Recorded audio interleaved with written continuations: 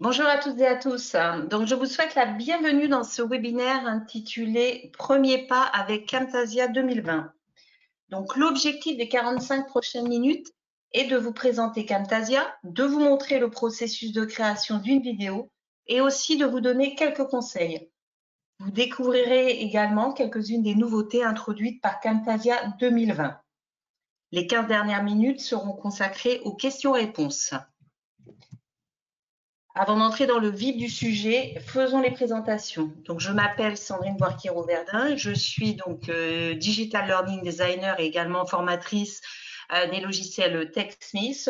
Donc, je travaille pour la société Capitech Software et je suis consultante pour TechSmith en France. Aujourd'hui sont présents avec nous donc euh, Anton Bolen et également Ager Benjilani de TechSmith. Concernant les détails pratiques, donc je tiens à vous informer que le webinaire d'aujourd'hui est enregistré et que vous recevrez le lien du replay à l'issue donc de la session par email. Donc, si vous avez donc euh, la possibilité en fait d'utiliser la fonction euh, question pour nous poser donc euh, des questions pendant le webinaire. Et Ager et Anton se chargeront de collecter donc vos questions. Ils répondront directement dans le chat en ligne à certaines de vos questions et à l'issue donc de la démo, donc je reprendrai un certain nombre de questions pour, y répondre et euh, vous montrer donc euh, directement donc euh, comment effectuer telle ou telle manipulation. Ce que je souhaitais également faire, c'est donc d'attirer l'attention, donc votre attention sur le fait que l'offre donc de TechSmith est une offre qui est donc adaptée au marché français, puisqu'en effet, les logiciels donc Camtasia, euh, donc logiciel donc euh, de montage vidéo et Snagit, donc qui est un utilitaire puissant pour créer donc euh, des visuels pour des tutoriels, sont disponibles en version française. Et bien évidemment TechSmith vous propose donc un support qu'il soit technique et commercial, ainsi qu'un certain nombre de ressources donc techniques, vidéos, tutoriels, euh, guides produits donc en langue française. Et c'est justement pour cela que euh, TechSmith travaille avec des partenaires, donc Capitech Software euh, en France, pour pouvoir justement donc bien répondre à vos attentes. Donc en fait, l'objectif, c'est vraiment de tout mettre en œuvre de manière à vous accompagner au mieux dans la réalisation de vos projets, que ce soit avec Camtasia ou Snagit. Alors, parmi donc euh, les autres ressources proposées, il y a aussi donc le groupe des utilisateurs francophones donc euh, de Camtasia sur LinkedIn. Donc, Capital Software a en charge l'animation. Donc, je suis l'animatrice de ce groupe. Et j'insiste sur le fait que ce lieu, donc ce groupe, en fait, est un lieu donc d'échange et de partage euh, sur lequel vous pouvez donc euh, poser des questions et auxquelles je réponds. Les autres membres peuvent également répondre. Et d'ailleurs, les interactions sont euh, tout à fait les, bien, les bienvenues. Et que l'objectif de ce groupe est également donc de vous parler, donc de mettre, de faire des zooms, des focus sur certaines fonctionnalités du produit, de vous informer des événements, etc. Donc, je vous invite très, très fortement à rejoindre donc euh, ce groupe. Alors, la question évidemment que vous vous posez, c'est qu'est-ce que Camtasia? donc 2020 euh, de Texas En fait, Camtasia est bien plus qu'un simple outil de capture puisque c'est un logiciel vraiment complet de montage vidéo. Et d'ailleurs, comme on va pouvoir le voir avec la version 2020, euh, le, produit se trouve très nettement enrichi avec des fonctionnalités particulièrement intéressantes. C'est d'ailleurs ce que je vais vous montrer. Alors, avec Camtasia donc 2020, vous allez pouvoir enregistrer donc, euh, et combiner donc, des enregistrements d'écran. C'est ce qu'on appelle communément des screencasts, puisqu'on a tendance à utiliser le terme anglais. Avec d'autres types d'enregistrements vidéo, réalisé par exemple avec un appareil photo, un smartphone. Mais bien sûr, vous avez la possibilité donc de combiner euh, donc d'autres types de médias comme des images, des clips, des fichiers audio et également euh, des diapositives PowerPoint. Donc les possibilités qui sont offertes avec euh, Camtasia 2020 pour créer différents types de contenus vidéo sont particulièrement nombreuses. Ce que je vous propose, eh bien, c'est de passer directement donc, euh, à la partie donc, euh, démo, euh, de manière à ce qu'on regarde concrètement comment utiliser l'outil. Alors, ce que j'ai fait, c'est que j'ai donc déjà lancé donc Camtasia, comme vous pouvez le voir, donc Camtasia dans sa version 2020. Donc, quand je l'ai lancé, j'ai automatiquement donc cette fenêtre qui s'affiche, qui me propose donc sur cet écran de créer donc soit un projet vierge, c'est-à-dire un projet depuis zéro, tout simplement en cliquant sur le, bouton Nouveau projet, ou alors de créer un projet vidéo à partir d'un modèle. Donc, je clique sur Modèle dans ce cas-là. Et la grande nouveauté justement donc de Camtasia, ce sont donc les modèles, donc ce qu'on appelle également des templates. Donc, ces modèles, en fait, sont juste parfaits pour créer des vidéos complexes mais c'est également un excellent moyen pour les personnes qui débutent pour commencer à créer des vidéos. Donc, par défaut, en fait, l'installation de Camtasia 2020 euh, contient donc un seul euh, modèle qui est le premier sur la liste Camtasia 2020, donc la template par défaut. Mais bien sûr, vous avez la possibilité donc de télécharger euh, d'autres modèles qui sont gratuits, qui sont disponibles sur le site de TechSmith. Et c'est d'ailleurs ce que j'ai fait. J'en ai téléchargé des gratuits. Et puis également euh, certains qui sont payants dans le cadre de l'abonnement TechSmith euh, Assets. Donc, bien sûr, vous pouvez aussi vous créer vos propres modèles.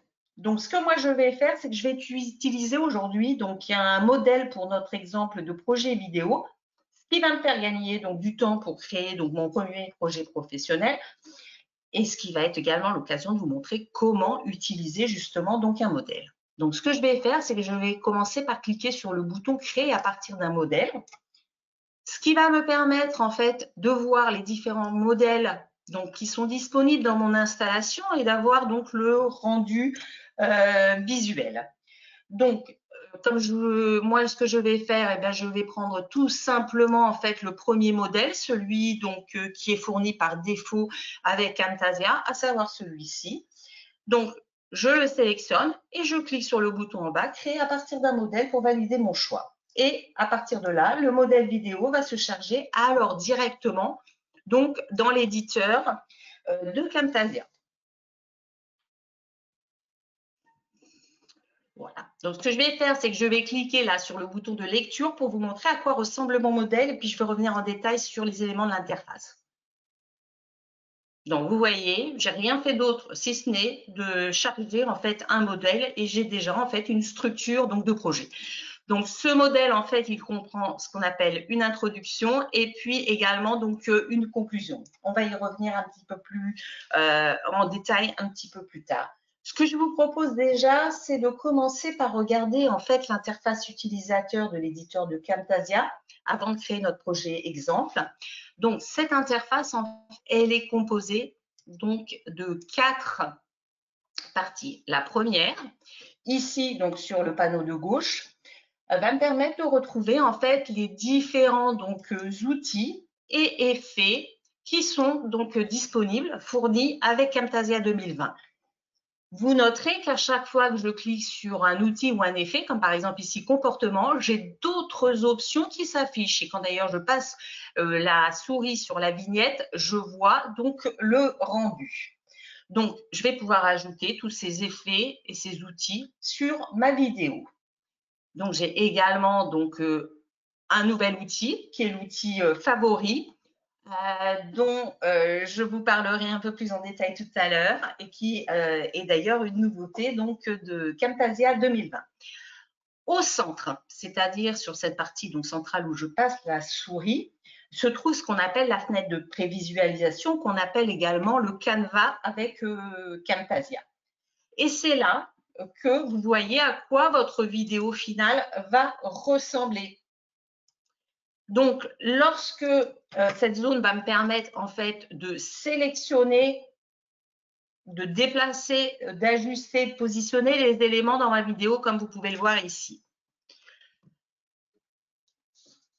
Et ici, sur le panneau, je vais peut-être sélectionner un élément un petit peu plus pertinent. Je crois que j'ai quelque chose qui a bougé entre-temps. Voilà, je remets en place. Donc, en fonction de, comment dire, de l'élément qui est sélectionné donc sur le canevas, sur le panneau donc de droite, je vais donc avoir accès en fait euh, aux différentes propriétés. Donc les propriétés, comme je viens de vous le dire, sont basées sur l'élément qui est sélectionné donc sur, euh, sur le canevas. D'ailleurs, je le vois également sur le plan de montage, je vais y revenir. Donc c'est là que je vais pouvoir en fait paramétrer en détail donc les différents, euh, les différents éléments. On va y revenir tout à l'heure sur notre exemple. J'attire votre attention qu'au niveau de ce panneau de propriété, j'ai un bouton juste en bas qui s'appelle propriété. Et quand je clique dessus, ça me permet en fait de fermer tout simplement donc la fenêtre de propriété. Et vous voyez, du coup, je me retrouve avec un espace plus important pour pouvoir travailler. Donc, pour le rouvrir, il suffit de recliquer tout simplement sur ce bouton propriété.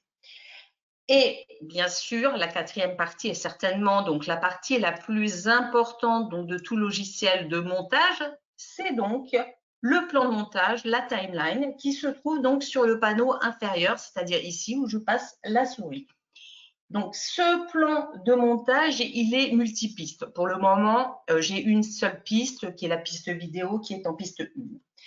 Donc, ce que je tiens à, je tiens à attirer votre attention sur le fait que les clips que vous voyez actuellement sur le plan de montage, c'est-à-dire sur la piste vidéo, sont ceux du modèle que nous avons utilisé pour la démo, c'est-à-dire le modèle Camtasia 2020 par défaut.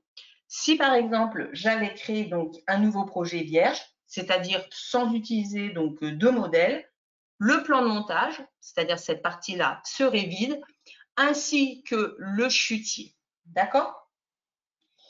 Donc, il est important que vous notiez, que vous gardiez à l'esprit que tout ce que vous souhaitez afficher dans votre vidéo finale doit être ajouté à une piste sur le plan de montage.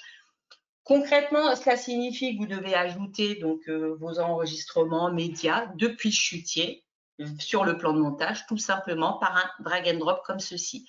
Donc, ce qui me permet en fait euh, également de préciser une chose qui est importante, c'est qu'en fait l'interface de Camtasia est une interface par glisser-déposer, donc ce qui facilite énormément donc les différentes manipulations.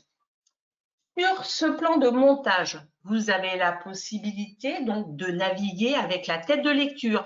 La tête de lecture, c'est ce curseur gris là que je suis en train de bouger. Donc, euh, on peut également en fait sélectionner donc des morceaux de clip en utilisant euh, donc euh, en déplaçant le curseur vert et le curseur rouge qui se trouve de part et d'autre de la tête de lecture, ce qui me permet de déterminer donc la zone sélectionnée qui est en bleu et de ne lire que cette partie-là en cliquant sur le bouton lecture sous le canevas. Voilà.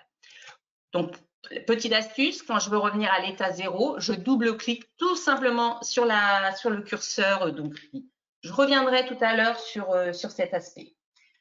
Donc, avant de poursuivre, je vous invite à regarder la structure de notre modèle de projet vidéo euh, sur le plan de montage. Donc, sur mon montage, j'ai une piste, la piste vidéo. Euh, donc, cette piste a été alimentée puisque j'ai créé un projet à partir du modèle Camtasia 2020 par défaut. Donc, ce modèle, en fait, comme j'ai commencé à vous en parler tout à l'heure, il est composé en fait de trois parties. Donc, la structure est la suivante. J'ai une introduction donc à ma vidéo.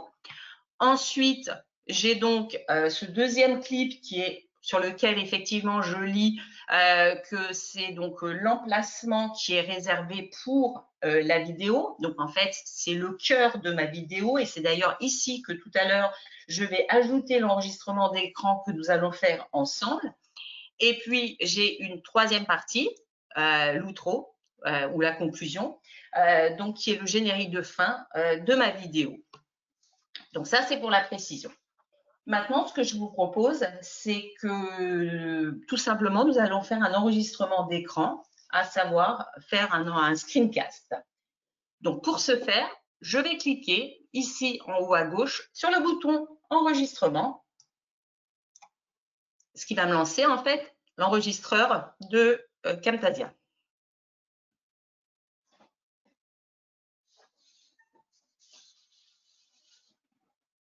Voilà, donc j'ai l'enregistreur qui s'est lancé. Donc à partir de là, donc, je vous demande un instant, je récupère juste mon script.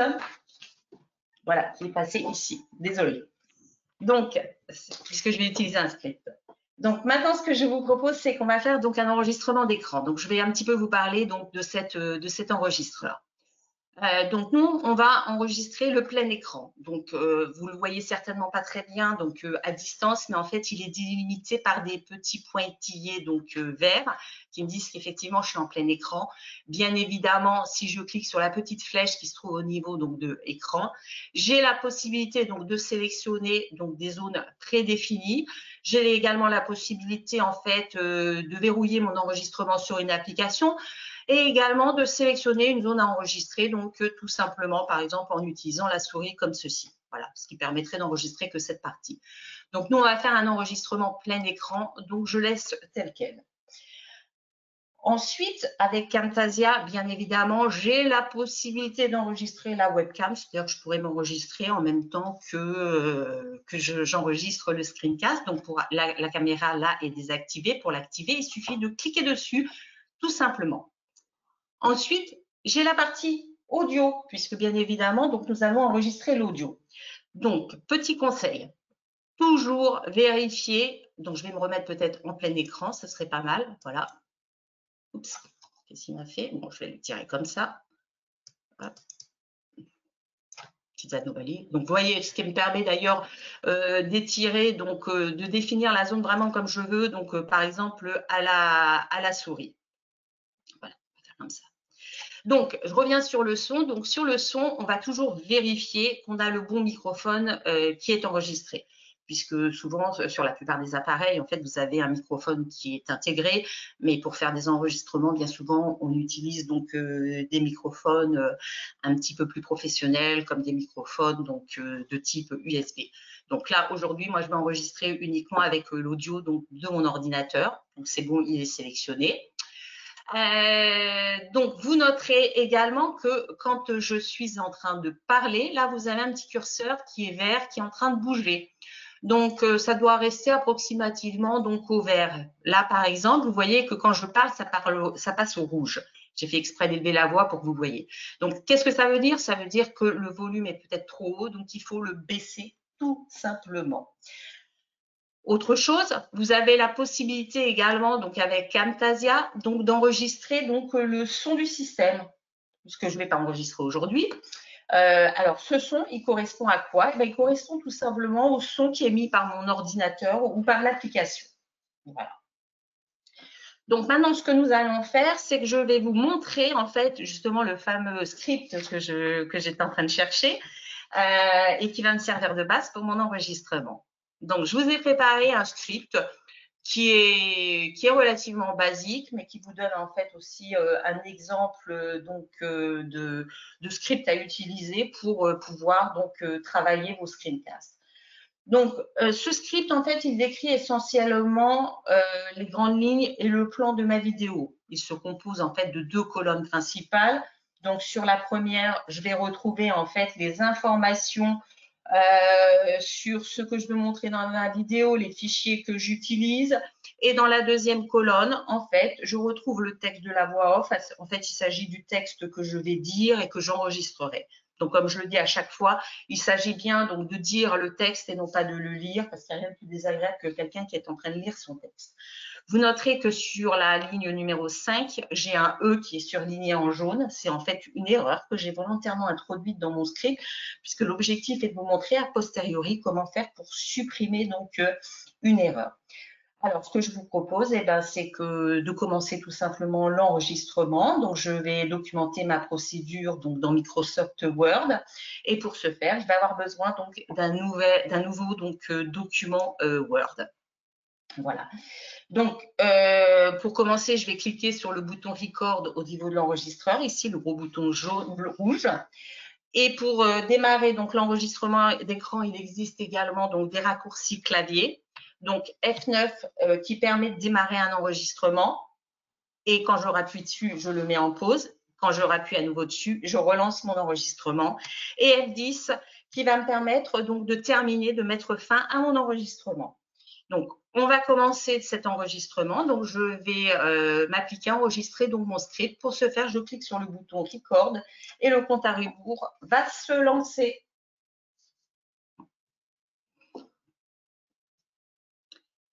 Bienvenue dans cette vidéo tutoriel. Je vais vous montrer comment configurer correctement le document Word pour le projet TSC 747. Donc, nous allons commencer par ouvrir un nouveau document. Maintenant, modifier la mise en page selon les besoins. Cliquez d'abord sur l'onglet Mise en page du ruban, puis l'option Marge. Les marges doivent être étroites. Sélectionnez le menu déroulant, puis la troisième option. Parfait. Ensuite, nous allons modifier l'orientation. Euh, ce menu déroulant est également présent dans l'onglet Mise en page. Définissez l'orientation sur le format paysage. Le document est désormais correctement configuré pour le projet TSC 747. Merci de visionner les autres vidéos tutoriels pour découvrir les étapes suivantes pour chaque tâche. Donc, j'ai mis fin à mon enregistrement. Et donc, mon screencast a automatiquement donc été ajouté dans le chutier. Donc, au niveau du chutier, là, je vais raconter un petit peu la chose je vois donc mon enregistrement qui a été donc ajouté. Donc, comme je vous disais tout à l'heure, comme j'utilise en fait un modèle, j'ai un emplacement qui est réservé pour pouvoir mettre mon screencast. Je vous ai également dit, l'interface est par glisser-déposer. Donc, ce que je vais faire, ben, je vais sélectionner donc mon enregistrement que je vais glisser-déposer sur l'emplacement qui est prévu, donc qui passe alors automatiquement en vert, comme ceci. Et vous voyez qu'à partir de là, donc j'ai plusieurs options qui me sont donc proposées via le menu contextuel. Et moi, ce que je vais faire, c'est que je vais choisir l'option remplacer et raccorder. Et regardez bien sur la timeline, euh, comme quoi le clip va s'allonger. Voilà. Donc, qu'est-ce qui s'est passé? Eh bien, en fait, euh, l'emplacement a été allongé de manière à s'ajuster automatiquement à la vidéo et la vidéo a hérité donc des paramètres de l'emplacement. Donc, ce que je vous propose, c'est de regarder donc euh, euh, le clip sur le plan de montage. Donc, je vais faire la lecture. Voilà. Donc, ce clip, maintenant, si je regarde bien au niveau donc, du plan de montage, vous remarquerez que j'ai un seul et même clip qui contient donc l'image et le son, l'audio je le vois qui est là l'audio puisqu'il y a des ondulations à ce niveau-là. Par défaut, l'audio et le screencast sont liés et ne forment qu'un seul et même clip comme on peut le voir ici. Je reviens en arrière. Donc, pourquoi ils sont liés? Parce qu'en fait, ça va permettre de les garder synchronisés pendant la phase de montage. Donc, bien évidemment, si je le souhaite, je vais avoir la possibilité en fait de les séparer. Donc, pour ce faire, en fait, je maintiens sélectionné donc mon clip sur le plan de montage. Donc, ça se manifeste par l'encadré jaune. Et je vais faire un, un clic droit. Et vous voyez que dans le menu contextuel qui s'affiche, j'ai une option qui m'indique séparer l'audio et la vidéo. Et à partir de là, j'ai effectivement donc deux clips qui sont complètement distincts. Effectivement, eh bien, euh, quand je fais ça, qu'est-ce qui se passe? Eh bien, je suis complètement désynchronisée. Voilà. Donc, pour cette démo, je vais les garder liés. Donc, je vais supprimer mes dernières actions par un undo, c'est-à-dire que je vais utiliser le raccourci clavier, CTRL Z, comme ceci. Voilà, j'ai remis tout en son état. Et là maintenant, ce que je vous propose, c'est d'éditer donc euh, notre screencast. Vous vous souvenez, j'ai fait une erreur vers la fin de mon enregistrement. Cette erreur se manifeste par une hésitation, par un E, et volontairement, en fait, euh, quand j'ai dit E, euh, j'ai créé une pointe. Donc, on va regarder un petit peu plus en détail. Donc maintenant, ce que je vais faire, bah, je vais rechercher l'endroit. Donc, je regarde un petit peu tout ma, comment dire, mon clip. Et là, je vois que j'ai quand même une jolie pointe. Et je me souviens qu'en plus, quand j'ai dit le E, euh, j'ai marqué un petit temps de pause. Donc, ce qu'on va faire, c'est qu'on va sélectionner cette partie-là pour vérifier si le E se trouve bien à ce niveau-là. Donc, j'utilise le curseur vert, comme ceci. Voilà. Et le curseur rouge. Alors, si je veux voir un petit peu plus de détails, ce que je vais faire, c'est qu'au-dessus de la timeline, j'ai une option de zoom, comme ceci, et je vais zoomer. Donc, vous voyez, là, je vois déjà plus de détails. Je vois, en fait, voilà. Donc, ce qu'on va faire, c'est que, voilà. Et maintenant, je vais cliquer sur le bouton lecture. Voilà. Et puis en plus, j'avais le. Voilà. Donc là, j'ai sélectionné cette zone. C'est parfait. il y a une erreur, eh bien, on va tout simplement donc la supprimer. Donc, pour la supprimer, je vais cliquer sur le petit ciseau qui se trouve au-dessus de la timeline sur le côté gauche, ou alors j'utilise le raccourci clavier CTRL X. Donc, je clique dessus. Et là, maintenant, qu'est-ce que je vois? C'est qu'à l'endroit de la coupe, j'ai des points de couture. Donc, ces points de couture m'indiquent que j'ai fait donc une coupe. Mais comme vous pouvez le voir, donc là, je vais dézoomer pour voir, ça ne reste ni plus ni moins qu'un seul et même clip. D'accord? Donc, vous voyez, je suis pas mal adepte donc, euh, des raccourcis clavier, dont le contrôle X qui me permet de revenir en arrière. Donc, euh, si par exemple, je dois supprimer en fait euh, une section depuis le début donc de, mon clip ou la fin, eh bien, je vais tout simplement procéder ainsi. C'est que là, par exemple, si je rezoome, je vois qu'il ne s'était pas passé grand-chose donc au début. Voilà.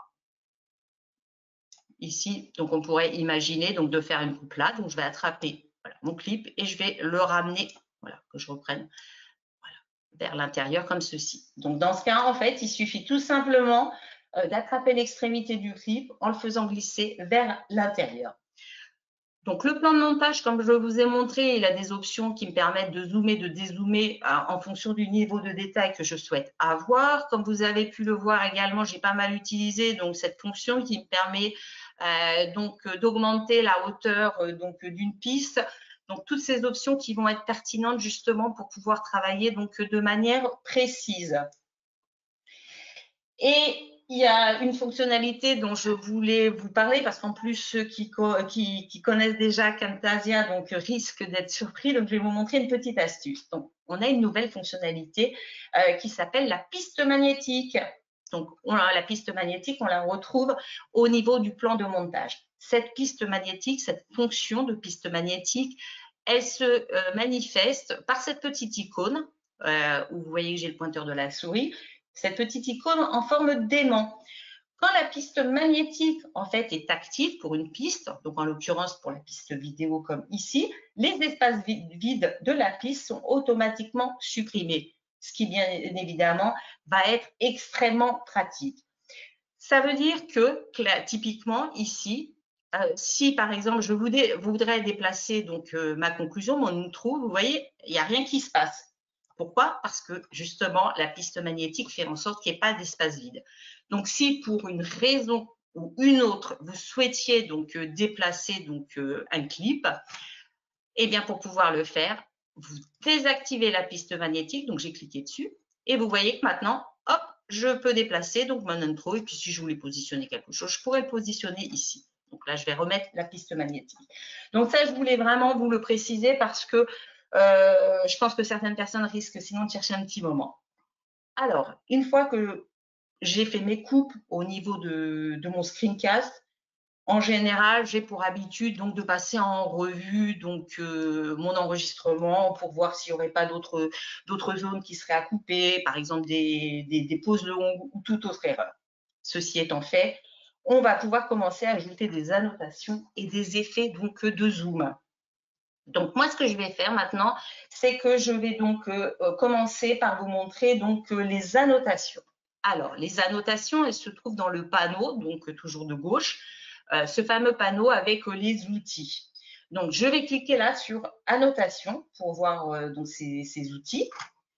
Donc, les annotations, qu'est-ce que c'est? Donc là, vous voyez que j'ai donc différentes options avec des petits onglets. Donc, j'ai des légendes, j'ai donc euh, des flèches, j'ai des formes, j'ai des flous, etc. Euh, tous ces objets annotations peuvent bien évidemment être ajoutés à ma vidéo. Les annotations, elles servent à quoi? Elles servent tout simplement à attirer l'attention sur des points spécifiques. Il ne faut pas hésiter à en ajouter parce que cela permet également d'ajouter des informations donc, complémentaires euh, donc pour les personnes qui sont amenées à visionner donc, votre vidéo vous noterez que euh, je peux également choisir donc un style pour la notation. Là, je suis sur le style basique et si je déroule et que je vais par exemple dans audacieux, hop, j'ai d'autres styles donc de euh, comment dire de légende. Euh, donc j'en ai plusieurs, hein, comme vous pouvez le voir, urbain. Et puis, il y a quelque chose qui est nouveau avec Camtasia 2020, pour ceux qui connaissent déjà l'outil. En fait, c'est cette option thème qui a été donc euh, rajoutée. Donc concrètement, aujourd'hui, avec Camtasia 2020, j'ai également la possibilité d'appliquer un thème aux annotations. Donc un thème, c'est quoi? C'est un thème avec donc des choix de couleurs qui ont été faites pour être en adéquation donc avec euh, par exemple la charte graphique de votre entreprise. Et puis ce sont également donc des polices qui sont définies. Donc on a cinq couleurs qui sont définies par thème de police. Donc, ce que je vais faire pour vous montrer, bah, c'est que je vais aller dans les thèmes et je vais aller chercher un thème existant, par exemple le thème tuto Camtasia et regardez ce qui va se passer. Hop, toutes mes légendes passent en verte. Donc, du coup, là, j'ai quand même gagné pas mal de temps parce que je n'ai pas besoin de changer cela manuellement. Donc, je vous ai dit qu'on allait donc ajouter effectivement une annotation.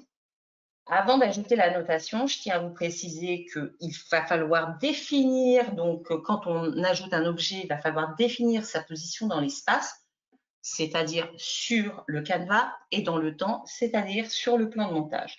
Donc, euh, moi, ce que je voudrais, c'est euh, faire euh, apparaître, par exemple, une flèche au moment où j'ai parlé donc du menu marge. Donc, je vais utiliser la tête de lecture comme ceci pour chercher quand le menu marge, voilà, s'affiche. Donc, c'est juste là. Hop, je me suis positionnée, donc c'est bien dans le temps. Donc, maintenant, ce que je vais faire, c'est que je veux rajouter une flèche. Donc, je vais prendre par exemple cette flèche-ci et je vais la positionner sur le canevas puisque je veux la positionner dans l'espace. Je la fais glisser, je la dépose comme ceci. Et maintenant, je vais revenir donc à mon panneau donc, de propriété et c'est là que je vais pouvoir en fait faire les ajustements. Donc, j'ai plusieurs onglets au niveau du panneau de propriété. Donc, j'ai la possibilité, par exemple, de travailler au niveau de l'échelle, de l'opacité. Je peux également faire pivoter cette, euh, cette flèche. Donc, on va le mettre, on va la positionner voilà sur étroite comme ceci. J'ai la possibilité également donc euh, bah, de, renseigner un texte. si je le souhaite, on va marquer cliquer tout simplement. Voilà.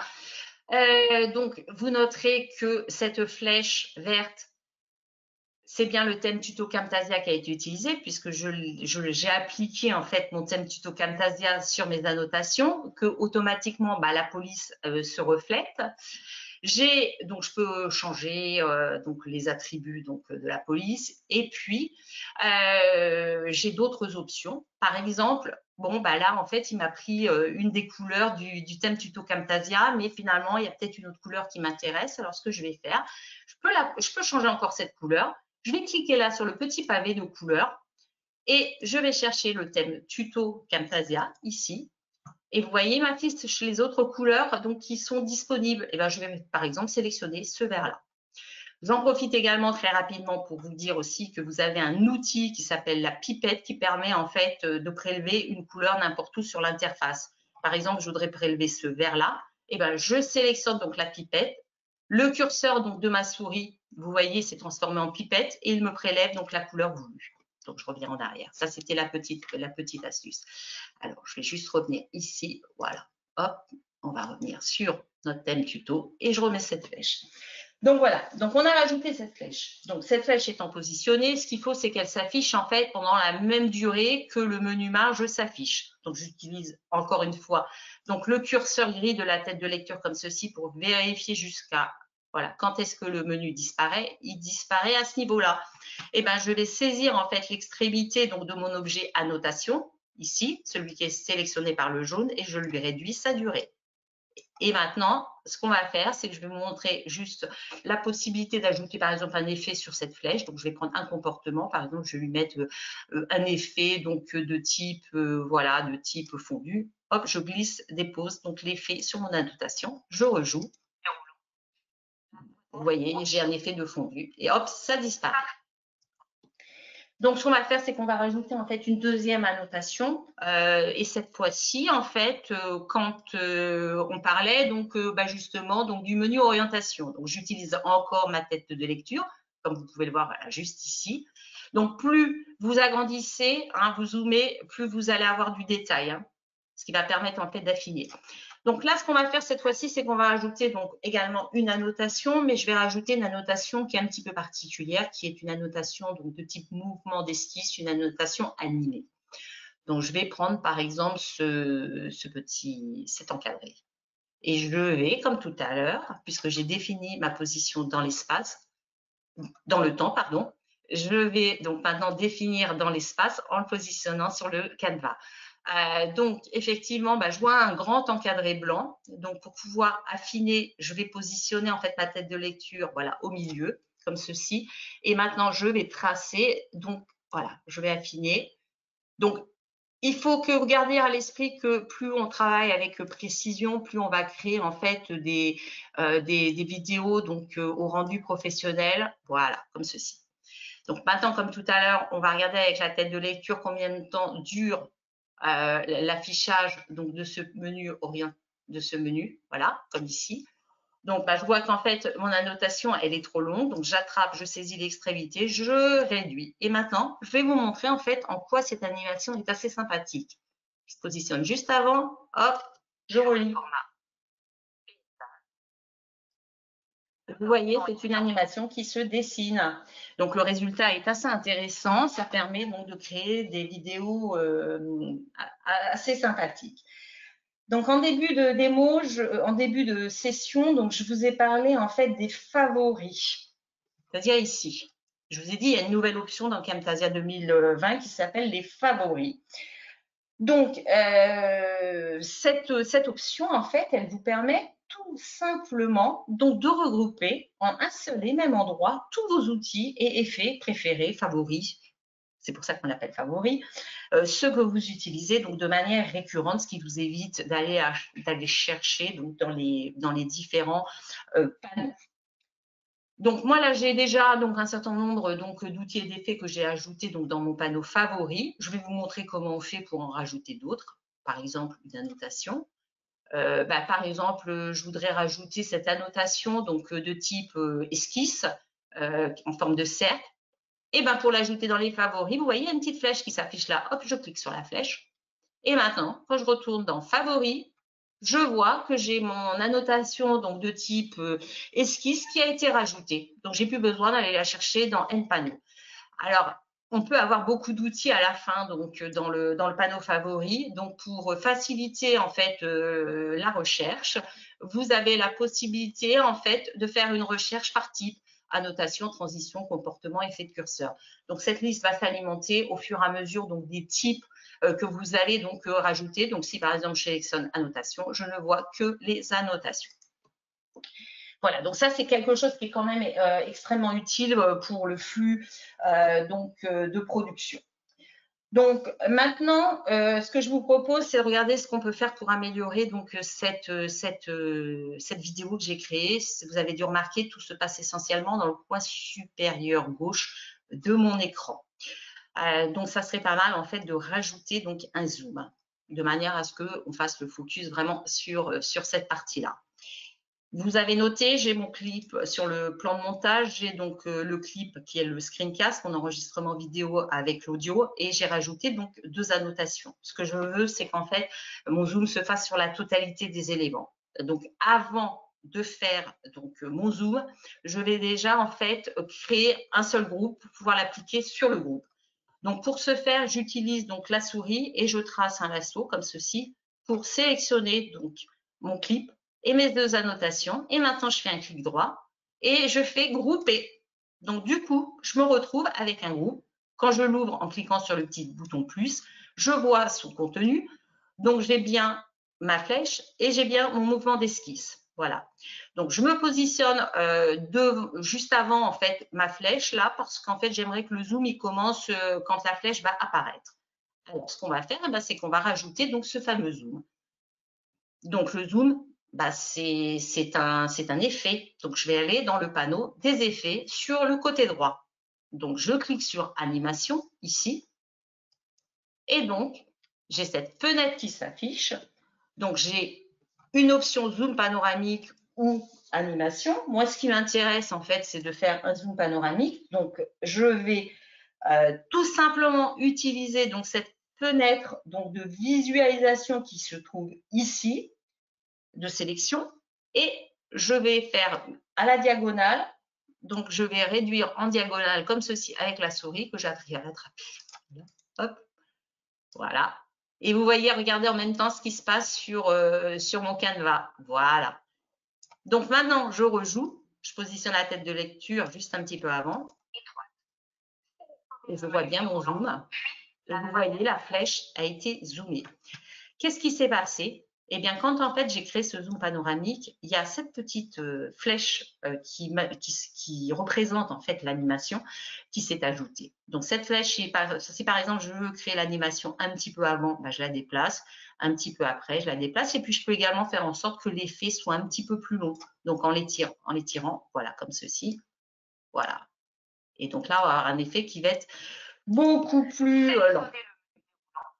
Donc, donc, gardez bien à l'esprit que quand vous avez besoin d'effectuer donc des zooms et que vous avez donc un certain nombre d'objets, d'annotation, etc., groupés donc au préalable. Donc pour, euh, ben pour terminer, euh, ce qui serait pas mal, c'est que euh, on puisse personnaliser en fait l'introduction donc de notre de notre modèle qui se trouve donc ici. donc cette introduction, voilà, quand j'utilise, vous voyez, voilà, hop, il y a your title, here, your subtitle. Donc, il va falloir personnaliser cela. Donc, pour personnaliser, ça va être extrêmement simple. Donc, au niveau du plan de montage, je sélectionne donc mon clip introduction et dans la fenêtre de propriété, je vais donc renseigner euh, donc le titre de, mon, de ma vidéo. Je vais l'appeler projet TSC 747 comme ceci et je vais lui mettre donc un sous-titre. On va l'appeler mise en page. Voilà, donc vous voyez sur l'écran euh, les modifications donc, qui s'effectuent. Et toujours dans mon souci donc, de cohérence par rapport à mon identité visuelle, je vais sélectionner un thème. Regardez bien ce qui va se passer. Donc, je vais sélectionner bien évidemment le même thème que tout à l'heure, mon tuto Camtasia. Automatiquement, donc j'ai euh, le thème qui a été donc euh, appliqué. Et ce qu'on va faire, ben, c'est on va procéder exactement de la même manière donc avec notre notre conclusion. Je vais marquer par exemple merci. Voilà. On met donc euh, son nom de domaine, par exemple, voilà, TechSmith. Et hop, je sélectionne également euh, donc mon tuto Camtasia. Et du coup, ça se reflète, c'est passé en vert. Donc, vous avez vu que grâce au template, je vais pouvoir créer très facilement donc, des vidéos donc, euh, sympathiques, professionnelles, et puis j'ai vraiment toutes les briques qui sont déjà donc euh, préconstruites. Je tiens également à vous préciser que bien évidemment cette introduction, bah là j'ai juste en fait euh, fait euh, deux trois modifs euh, concernant donc le titre, la couleur, etc. Je pourrais faire d'autres modifications et dans ce cas cette introduction une fois qu'elle est personnalisée, j'ai la possibilité en fait de l'ajouter à ma bibliothèque utilisateur personnalisée. De même pour l'introduction. Donc, ce qui m'amène effectivement à vous parler donc euh, très rapidement de la bibliothèque. Donc, je retourne dans le panneau des outils et je vais cliquer sur bibliothèque. Donc, Camtasia en fait propose une bibliothèque par défaut qui s'appelle euh, Bibliothèque Camtasia 2020. Cette bibliothèque, elle contient de très nombreux clips donc d'introduction. Donc, j'ai des choses supplémentaires. Donc, c'est des introductions qui sont déjà euh, faites. des conclusions également, je vais avoir donc euh, des icônes qui sont classées en catégories, par exemple des icônes qui représentent euh, sur la thématique de l'assurance, etc. Je vais également avoir donc euh, des, pistes de musique. Donc, vous avez la possibilité également de télécharger des éléments supplémentaires donc sur le site de Camtasia. Certains sont gratuits, d'autres sont payants. Et puis, vous pouvez bien évidemment aussi ajouter donc vos propres clips à la bibliothèque. Et dans ce cas, en fait, vous créez ce qu'on appelle des bibliothèques utilisateurs, puisque quand là, je suis sur bibliothèque, j'ai une petite liste déroulante. Et si, par exemple, je vais sur Case Library, donc je me suis créé, en fait, ma propre librairie qui contient donc des éléments que j'utilise donc de manière récurrente. Donc, on peut vraiment personnaliser toute l'interface. Aujourd'hui, je l'ai précisé, je le reprécise, j'ai utilisé donc un modèle, une template pour créer notre exemple de projet. Mais bien évidemment, l'utilisation de modèles est facultative. Je peux créer un projet sans passer par les modèles. Pour conclure, une dernière petite chose que je voulais vous montrer qui concerne donc justement Camtasia 2020, euh, donc encore une nouveauté et pas des moindres, c'est la possibilité d'exporter des packages Camtasia. Donc si je vais donc dans le menu fichier ici, j'ai une option exporter et désormais, j'ai l'option package. Donc, ce qui m'affiche dans ce cas-là, cette, euh, cette fenêtre. Et je vais avoir donc euh, la possibilité donc euh, bah, d'exporter tous les packages ou alors d'exporter uniquement des éléments spécifiques, par exemple liés au modèle, au thème, etc. Donc l'intérêt, c'est qu'effectivement, je vais pouvoir donc très facilement exporter bah, en gros mon environnement de travail utilisateur avec mon équipe projet euh, ce qui va permettre à tout le monde de travailler avec les mêmes éléments. Donc, une fois que j'ai fait ma sélection, je clique sur exporter, j'envoie le package généré donc à mon équipe projet. Et puis, euh, derrière, donc, il suffit de retourner dans Fichier et cette fois-ci, importer, package, et puis au niveau du package, eh ben, je vais sélectionner, je vais aller naviguer pour aller chercher le package et l'importer dans mon environnement et je vais me retrouver exactement avec le même environnement que mes collègues. Donc pour une première vidéo, c'est plutôt pas mal. Bien sûr, il y a d'autres effets que nous pourrions ajouter, comme des effets de curseur, des comportements, des transitions, de l'audio. Enfin, les possibilités sont extrêmement nombreuses avec des grosses possibilités en termes de personnalisation. La dernière étape, bien sûr, c'est de pouvoir partager votre travail avec euh, vos, hum, avec votre public. Donc, pour ce faire, eh ben, il suffit tout simplement de cliquer sur le bouton partage qui se trouve ici en haut à droite. Et là, je vois que j'ai différentes options qui sont disponibles.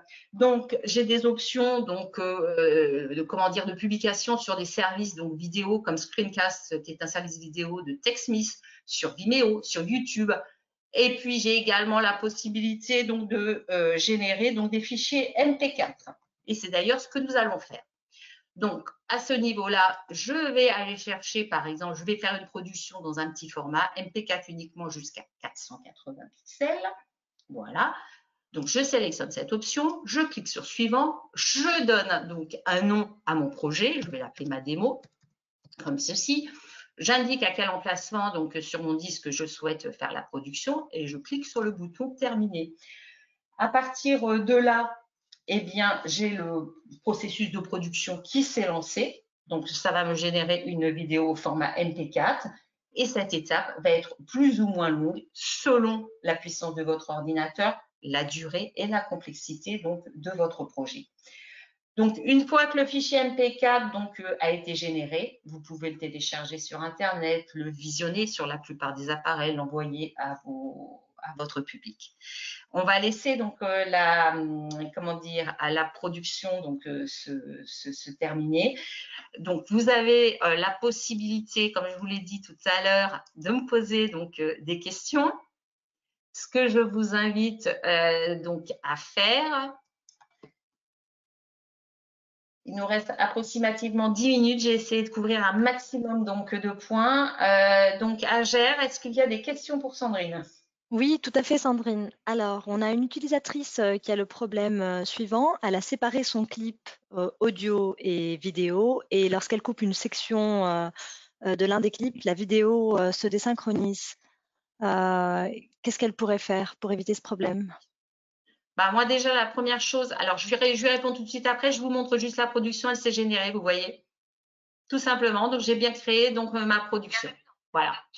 Donc, pour répondre à la question, moi, la première chose que je ferai, c'est que euh, je créerai euh, dans ce cas un groupe parce que c'est pour ça que je vous ai montré tout en début, je vous ai dit par défaut, Camtasia en fait synchronise, fait en sorte qu'on ait un clip qui contienne l'image et l'audio. Je vous ai dit on peut le, séparer, mais je préfère ne pas le séparer pour pas avoir des problèmes de désynchronisation. Donc, dans le cas donc, de la personne qui pose la question, bah, moi, ce que je vous invite à faire, c'est comme je l'ai fait, tout simplement de créer un groupe, c'est-à-dire que vous sélectionnez euh, votre clip audio et votre clip vidéo et vous créez un groupe. Et à partir de là, vous allez faire vos coupes, etc. sans difficulté. Merci Sandrine. Euh, une autre question, est-ce que vous pouvez nous montrer comment accélérer ou ralentir une partie d'un film? Sur l'audio, par exemple? Oui. Alors, plus. Alors, Vous noterez que dans le panneau euh, des outils, comme j'ai un petit écran, un 15.6, euh, tout ne s'affiche pas forcément. Donc, quand je veux voir les autres, je clique sur le bouton plus ici. Donc, par exemple, là, sur euh, l'effet audio, je peux, par exemple, accélérer, donc, la, enfin, jouer sur la vitesse du clip. Donc, je vais sélectionner en fait cet effet que je vais glisser, déposer donc dessus si on a bien voilà, on va le mettre plutôt là. Alors, vitesse du clip, on va le prendre comme ça. Voilà. Donc, il s'est positionné là. Donc, j'ai mon effet, vitesse du clip qui est à 1. Quand je vais dans la fenêtre de propriété, est-ce qu'il me le met? Voilà, hop, voilà. Fenêtre de propriété, si par exemple, je veux augmenter la vitesse, voilà, 2, je vais aller très vite. Qu'est-ce qui va se passer?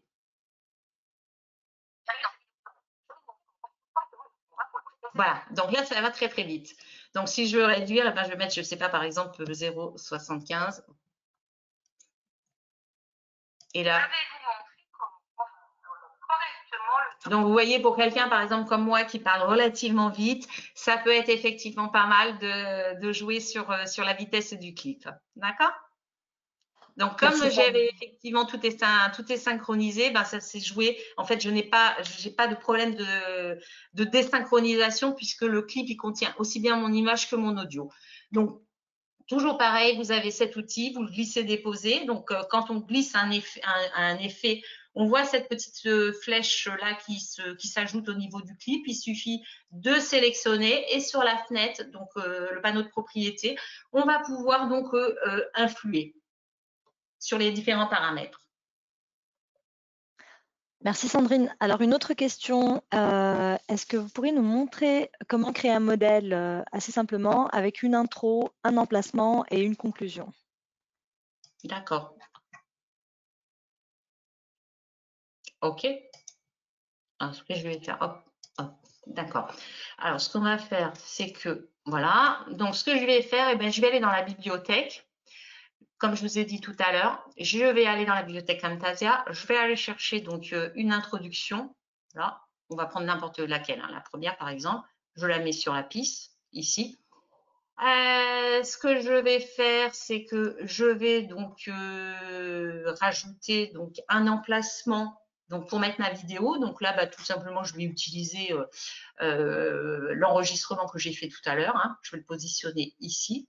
Donc vous m'avez demandé je, l'ai bien compris, de créer un enregistre, de, créer un espace et non pas de mettre mon enregistrement. Donc là, j'ai utilisé l'enregistrement. Je vais cliquer dessus puisque ce que je veux maintenant, c'est convertir en fait euh, le cœur euh, donc euh, du modèle en, emplacement. Donc pour la vidéo, je fais un clic droit et à partir de là, dans le menu contextuel qui s'affiche, j'ai une option convertir en emplacement et regardez bien ce qui va se passer sur le clip. Voilà, donc ça, maintenant, c'est devenu un emplacement. Ceci étant fait, eh bien, vous m'avez demandé donc euh, d'ajouter euh, une, euh, conclusion. Donc, je retourne dans la bibliothèque Camtasia. Je vais aller chercher donc une conclusion. Là, je vais pas chercher en fait au niveau des avoir quelque chose qui soit joli. Hein. Je vous montre juste. Hop, je fais un clic à glisser déposer donc de ma conclusion comme ceci. Voilà. Donc là, j'ai créé donc tout simplement un modèle vous remarquerez que je peux bouger en fait euh, ma conclusion. Ce que je voudrais, c'est que justement, il n'y ait pas d'espace vide qui soit, euh, qui soit créé. Donc, je vais activer la piste magnétique. Euh, donc, ceci étant fait, bah, je me suis créé donc de manière très très simple en fait un, modèle, voilà, avec, avec une intro. J'ai mon, le cœur de ma vidéo qui sera glissé déposé ici et j'ai donc ma conclusion. Eh bien, euh, dans ce cas, maintenant, on va pouvoir donc euh, ajouter à la bibliothèque. Donc, j'ai sélectionné les éléments, je fais ajouter à la bibliothèque. Euh, non, c'est pas ajouter à la bibliothèque. Non, c'est convertir. Oups. Alors, je me suis fait voir. Complète, gérer les thèmes, gérer les modèles. Oups. C'était pour la jouer à la bibliothèque? Euh, Alors. Ouais, j'ai là, là j'ai ajouté euh, convertir en emplacement, convertir, convertir, tout diviser. Ça, je vais pas regarder. Je vous, renvoie, je vous renvoie tout de suite après un petit, un petit exemple bien complet. Merci Sandrine. Alors juste une sur le principe pour créer le pour créer le pour créer le template directement et je vous montrerai tout à l'heure. Je vous envoie la procédure. Je passe à l'autre question puisqu'il nous reste 2-3 minutes. Oui, alors une dernière question. Est-ce que tu pourrais euh, justement nous montrer euh, comment ajouter de nouveaux éléments dans la bibliothèque? Oui. Donc dans la bibliothèque, eh bien par exemple, euh, voilà, je vais prendre vous voyez, je ne peux pas déplacer parce que j'ai mon... Hop, allez, on va faire ça. Hop, je vais, voilà, je désactive. Ah, s'il veut bien, voilà, hop, allez. On va prendre par exemple cette introduction qui est comme ceci. On pourrait très bien en fait le personnaliser, par exemple en déplaçant des choses, voilà, en changeant, euh, en changeant la police, etc. Donc ceci étant fait, je vais pouvoir, par un clic droit, ajouter à la bibliothèque. Donc ça, je peux l'ajouter. Donc, euh, je vais l'appeler mon intro. Voilà. Et donc là, je vais cliquer OK. Et je l'ai ajouté donc à ma bibliothèque par, euh, défaut. Après, je vais pouvoir effectivement euh, aller donc trier, organiser donc par bibliothèque, puisque comme vous pouvez le voir dans les bibliothèques, ici j'en ai plusieurs. Je peux me créer donc une nouvelle bibliothèque. Je peux gérer mes bibliothèques, les renommer, en supprimer, les exporter, etc. Donc, si c'est un élément, euh, simple, hein, par exemple, tout à l'heure dans le chutier, on avait euh, cet enregistrement. Imaginons qu'on veut le mettre dans la bibliothèque, hein, que c'est une image. Bah, il suffit tout simplement, en fait, euh, de cliquer sur Ajouter à la bibliothèque et d'aller sélectionner la bonne bibliothèque. Y a-t-il une autre question? Ça sera tout, Sandrine. Merci beaucoup. Avec plaisir. Donc, pour, pour conclure, alors, je vais là-dessus. Voilà, hop.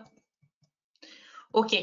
Donc, pour euh, petite précision pour les gens qui travaillent dans le, dans le domaine de l'éducation, aujourd'hui, il existe avec, euh, avec TechSmith une offre campus qui est réservée donc aux universités et aux écoles avec euh, donc euh, la possibilité donc de bénéficier donc euh, du package Camtasia et Snagit donc pour un tarif préférentiel donc sur un engagement de trois ans. Il s'agit en fait d'un abonnement donc annuel forfaitaire qui va permettre de déployer sur tous les postes Camtasia donc et Snagit. Donc, vous allez recevoir en fait euh, par email un accès au replay du webinaire, des ressources complémentaires sur, euh, sur Camtasia. Donc, il y a une petite enquête qui doit s'afficher. Donc, si vous avez quelques secondes pour y répondre, ce serait très, très gentil. Euh, ce qui nous permettra effectivement donc d'améliorer donc le webinaire. Je tiens également donc à vous préciser que vous avez la possibilité de télécharger donc une version d'évaluation de Camtasia 2020 pour ceux qui ne l'ont pas encore donc euh, euh, téléchargé. Si vous avez déjà une version 2019 ou même une antérieure, ne vous inquiétez pas, le fait d'installer euh, Camtasia 2020 ne vous écrasera pas votre version précédente. Donc sur cet écran, effectivement, je vous ai mis les, grandes nouveautés donc de Camtasia. Et puis donc je reviens vers vous sur le groupe LinkedIn avec une précision effectivement sur le process pour la création donc des templates. Et si vous avez d'autres questions, bah, n'hésitez pas euh, à nous les poser. En tout cas, je vous remercie pour votre attention de ce jour et je vous souhaite donc euh, bah, de belles vidéos avec euh, Camtasia 2020. À très bientôt, bonne fin de journée.